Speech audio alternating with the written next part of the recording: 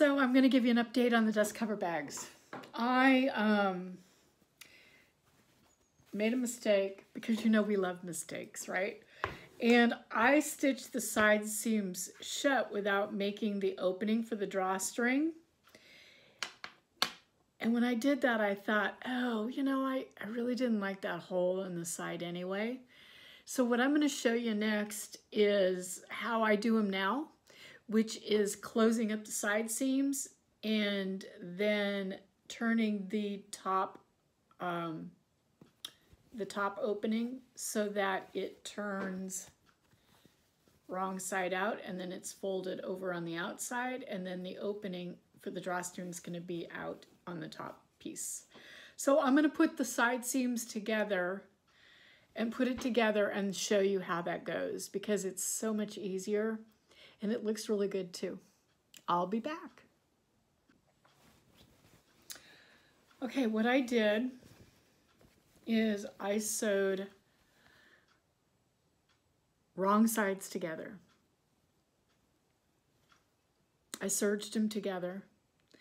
Now you don't have to serge them, but the reason why I serge, is I've done this a million times, is the serger cleans up all those threads. When you're using muslin, there are a gazillion threads. You don't have to do it that way, but I do. If you're not gonna serge it, you're still gonna wanna sew um, um, wrong sides together first and then you want to trim off all those threads.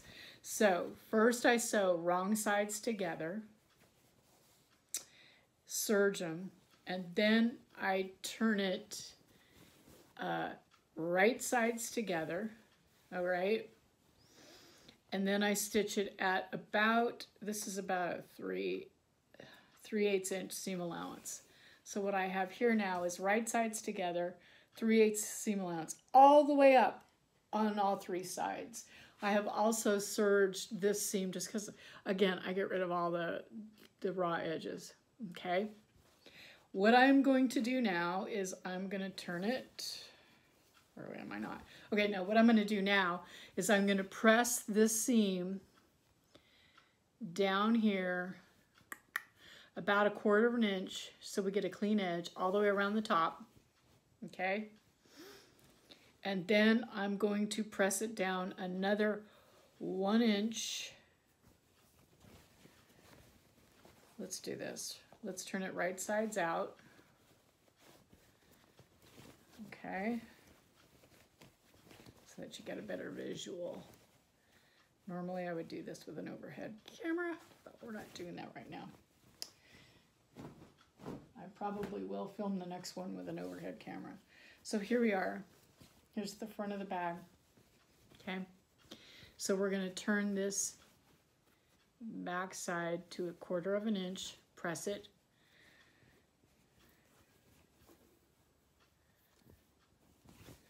Am I doing this right? Yeah. Sorry. We're turning it the opposite direction. Okay. So we're turning it a quarter of an inch down like so.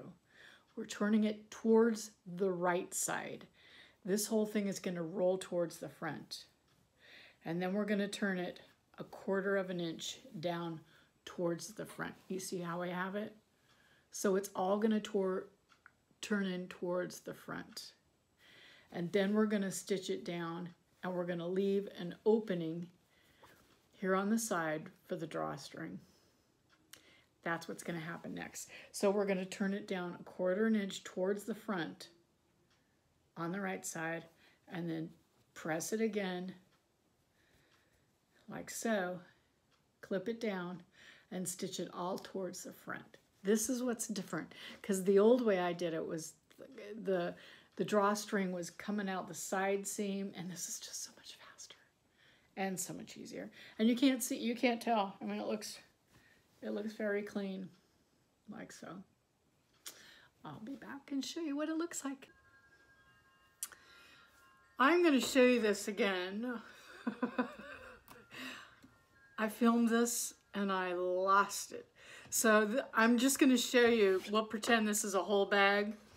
So this is the um, the one quarter inch turned under. This is gonna be the right side of the fabric, and then it's one inch turned over towards the right side.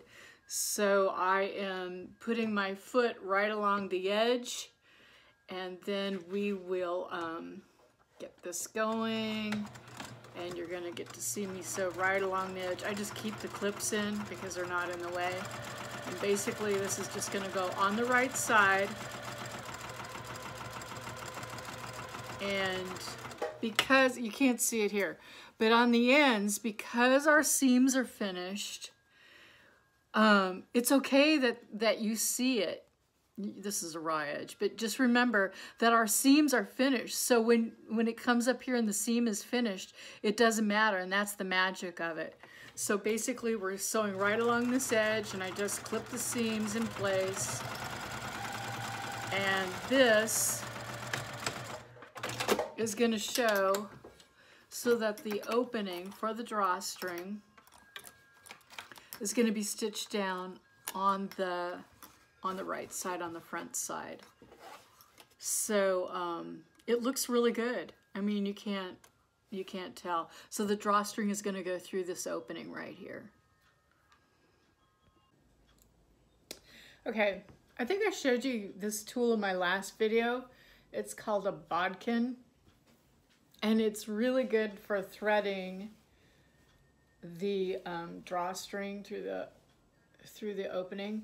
Also, I am now using a less expensive drawstring just because these dust covers I don't want to put a lot of money into. And I, I have a bit of a mess of it. I guess I could take the time. It's kind of like yarn. So the others, the other drawstring, if you're not making a lot of them, the other stuff is far superior because it's really stiff. This is um, stretchy and I really didn't think it was going to be like this when I got it, but anyway, it's a lot cheaper. You get two bundles of it, um, so it is what it is. So I'm going to put a link for it in the description box.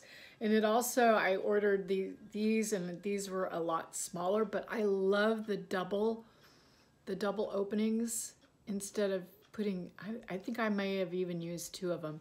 So these kind of go with this because these are smaller. So I'll put a link for these too. It just, if you're making a lot of them, it's just a lot cheaper.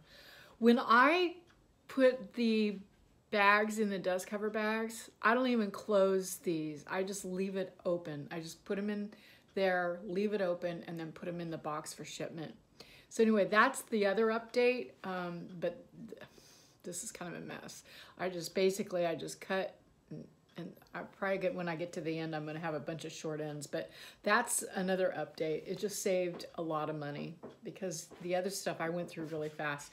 So anyway, the bodkin, you just slip it through the hole, make a knot, and slide this through the opening. And then when I get to the end, I just cut this and then take that out. So um, yeah, so here we are at the end. Um, then we, uh, this is the only part, it's like threading a needle, putting it through these little things. So you have to press, see, and there it goes. Um, you press on these, and when they're small, it is, it's like threading a needle. And I will not probably do it on camera. So anyway, these go through the holes and then it's done basically. So that's what it looks like on the outside. So see, I think it looks just as good. And then it comes through here instead of out the side seam. And that's how it'll be when it's done. Lots faster.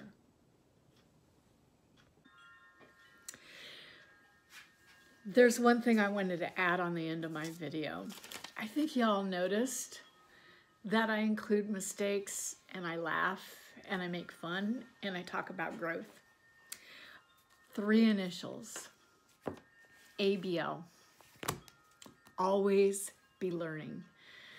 Um, I don't attach my self-esteem to being right. I attach my self-esteem to growth and, and to be learning all the time. So I'm not about you know, I'm not about being right and about correcting anyone. I really, really focus on growth and I love it. And, you know, it hurts, it stings when we make mistakes, but that is what makes us better. That's where we learn and that's where we become better people. And um, that's what I'm all about. That's what my videos are about. Because if you if you place all your self-esteem on being right, you're you're always going to be in pain and it's it's nowhere to be. I mean, it's just devastating all the time. But if you place it on growth, your life will be limitless. Really. It can be scary, but it can be so exciting. And that's why I want to encourage each of you to take risks and to ask questions and to say, hey, how do I do this? Um, having a growth mindset over a fixed mindset is just a completely different life. And that's what my page is about. Sewing is part of it. And I never believed as a young girl that I'd be doing what I'm doing now. And that's why I'm authentic on my page. I want you to know that I make mistakes um, because that's so important. So that's what I want to share with you today. Miss y'all. See you next time.